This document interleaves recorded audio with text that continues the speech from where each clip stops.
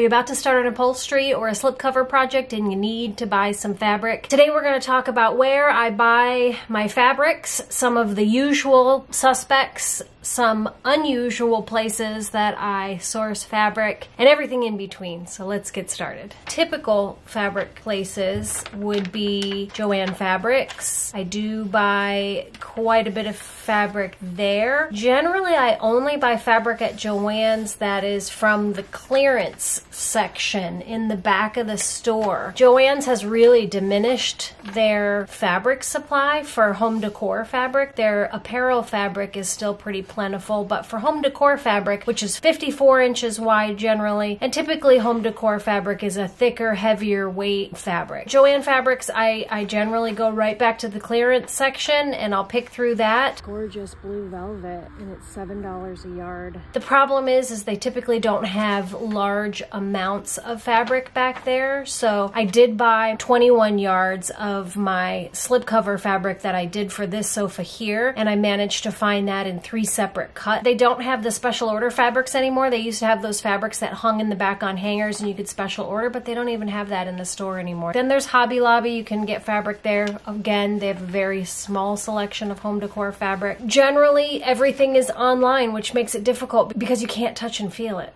which I can't, I don't like that.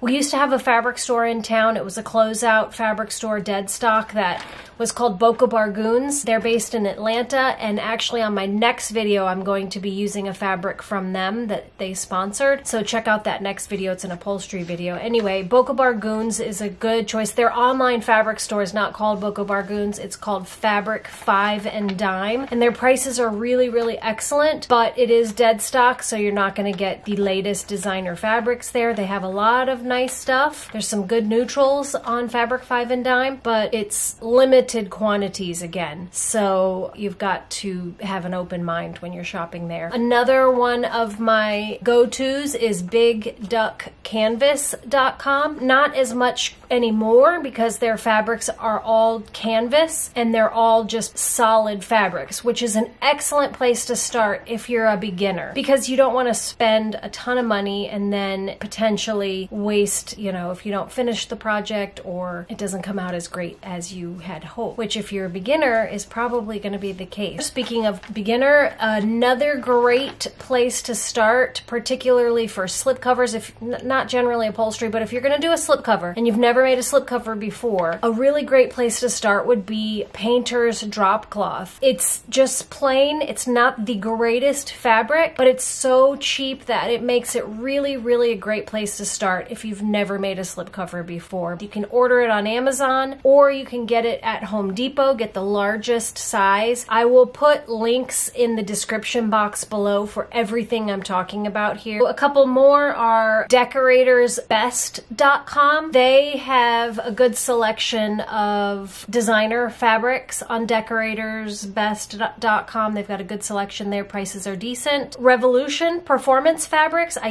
used that for my sofa slipcovers. I've used Revolution fabrics quite a bit. I used them for reupholstering my mother-in-law's couch. Here I used Revolution for a whole ton of cushions. They have a performance slipcover fabric which is washable.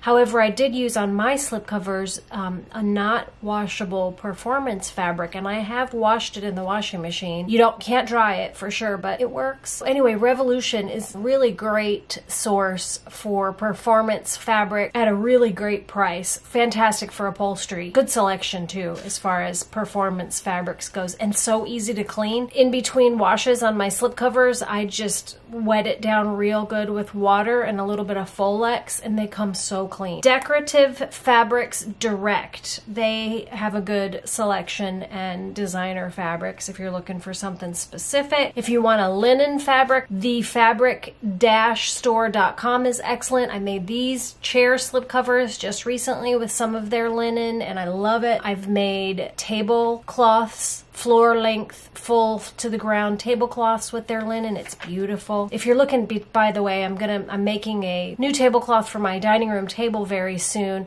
and I'm gonna put a big wide bullion fringe along the bottom. So if you're looking for trim, Decorator's Best has a great trim department as well as Decorative Fabrics Direct. They have a great trim department as well. These are all the places that you don't need to have a business license and a resale certificate for. This is open to the public. Then the last places that I want to talk about are your local upholstery supplier. So there's two in my area that are open to the public. You don't have to have a business license to shop at these two local upholstery suppliers. And there's bound to be upholstery suppliers in your town, at least one. Both of the ones that I'm talking about that are open to the public do sell fabric and you can order through them. They've got memos and fabric samples that you can search through and order direct from them. And generally, they have some dead stock in the store as well that you can just buy off the shelf basically. Look in Google for your local up- upholstery supply shops and call them up and see if they're open to the public, if you need to have a business license or a resale certificate or not, and if you can order fabric through them. Most of them are happy to sell you fabric because they make a percentage on that, and still the prices are typically better than if you bought retail online. And you can see the fabric in person and touch and feel it. We're here at my cutting table, and it's just packed with stuff because I haven't put away Christmas yet, and it ends up all accumulating here. Anyway, I'm gonna show you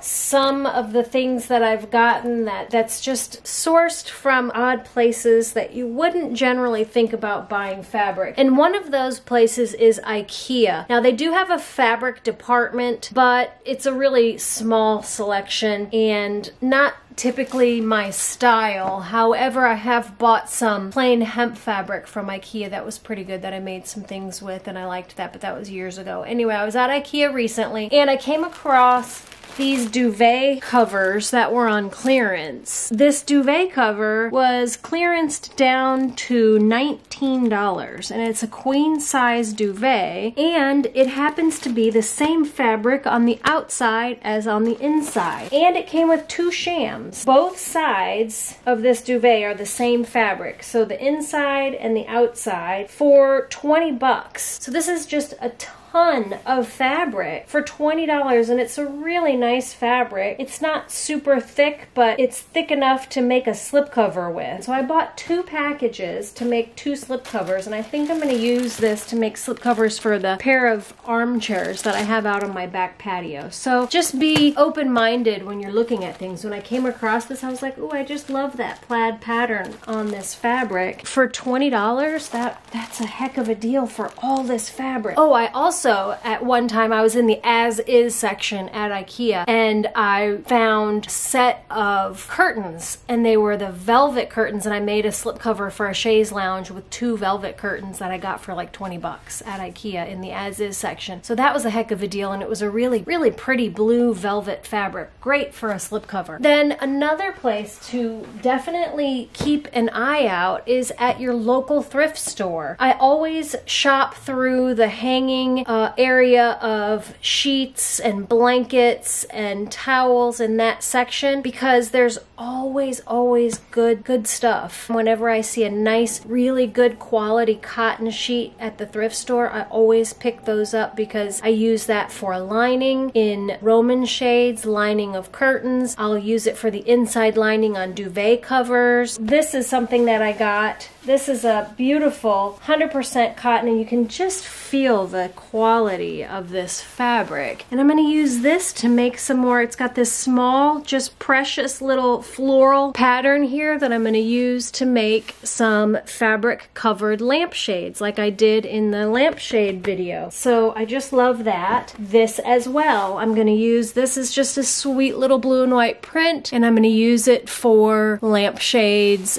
also. And this one, which is just a little bit different, but I thought it would be a cute lampshade or potentially some pillowcases. And then this is fabric that I cut.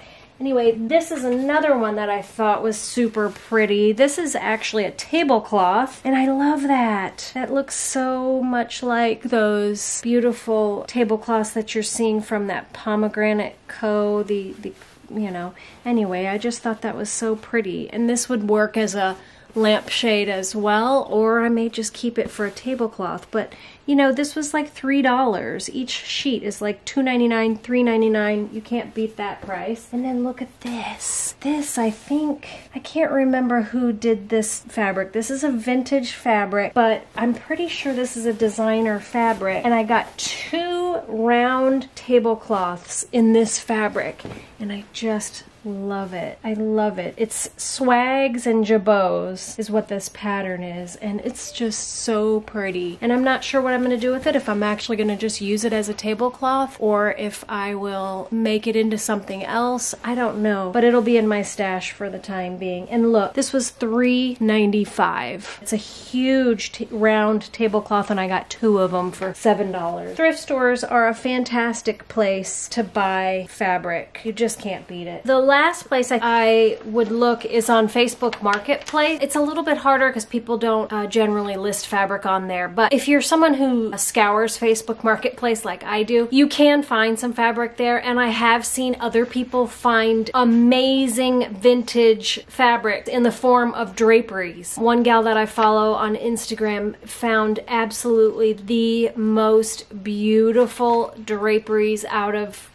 I can't remember the designer of the fabric, but it's a fabric that's just spectacular vintage floral fabric. If you're going to look on Facebook Marketplace or if you're already on Facebook Marketplace looking frequently for things, if you type in fabric or material or curtains or draperies, Matelassé is a good fabric to buy for slipcovers. It's beautiful and it makes great slipcovers. So if you can find coverlets, bed coverlets out of Matelassé, it's great. That's another good one to look for. Look at for linen. So depending depending upon what you're making, you can find fabric all over the place. If you're just making small things like decorative pillows, or if you're wanting to make uh, decorative napkins like this, this is this was a sheet that I found at a thrift store, and it's just the most beautiful vintage cotton fabric. There's just something different about vintage cotton. It's just such a beautiful texture and smooth. Anyway, if you're needing lots of yards of fabric for upholstering a sofa or slip covering a sofa, clearly you're going to have to just go to a retailer or your upholstery supply shop in your town and get your 20 yards or whatever you're going to need for a big project. But for smaller projects, there's so much good good fabric out there that can be made into other things. I mean, I've even seen people make garments out of thrift store. Oh, that's another thing is that you can utilize um, clothing. Like I have bought linen dresses that are big dresses that are beautiful linen fabric and I've cut those down into napkins or pillows. If you are interested in seeing that upholstery project with the fabric that I got from Fabric 5 and Dime, which is the Boca Bargoons company, click on that video right here.